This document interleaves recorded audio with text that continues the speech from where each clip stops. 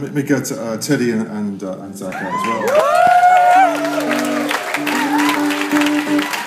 Uh, around, John Sebastian's around. If you'd like to come out as well, that's fantastic.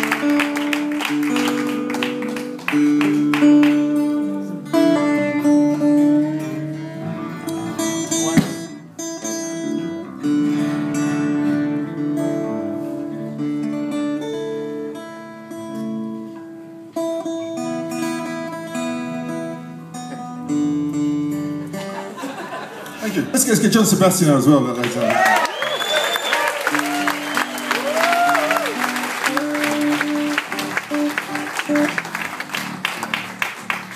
Uh, when I was uh, uh, 15, I only had three records.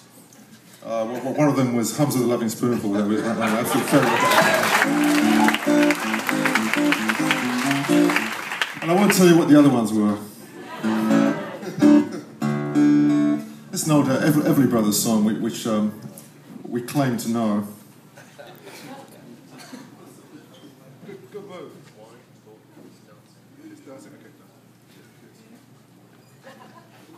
Oh? Okay, okay, right.